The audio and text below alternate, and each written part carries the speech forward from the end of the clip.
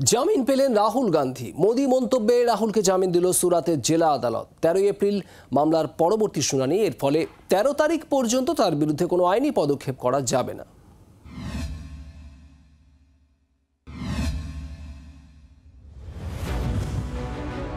বাসের জালনা ধারে রাহুল, পাশে প্রিয়াঙ্কা। সঙ্গে কংগ্রেস শাসিত রাজস্থান, ছত্তিশগড় আর হিমাচল প্রদেশের তিন মুখ্যমন্ত্রী ও আইনজীবীদের দল। রীতিমতো রণসাজে সেজে সোমবার দুপুরে সুরাতের জেলা দায়রা আদালতে হাজির হল কংগ্রেস। পিছনে আরেকটি বাসে করে এলেন কংগ্রেস নেতাকর্মীরা।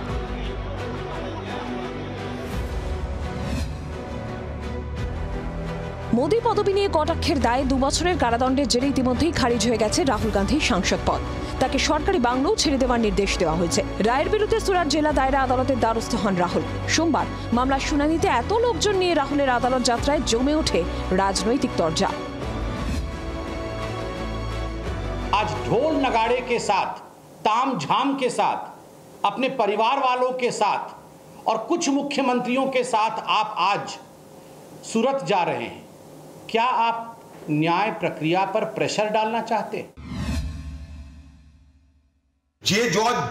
বিচ- আহ, রায় দিয়েছে তার উপরের কোর্টে যাচ্ছে এটা তো নিয়ম সে নিয়ম মেনে যাচ্ছে আর রাহুল গান্ধী যখন যাবে তখন সেখানটায় তার লো- পার্টির লয়ার তো যাবে আদালতে অবশ্য জামিন পেতে রাহুলের অসুবিধা হয়নি তেরোই এপ্রিল মামলার আগামী শুনানি कोर्ट ने उनको फ्रेश बेल दे दिया है पंद्रह हजार का तो अब उनकी जमानत हो गई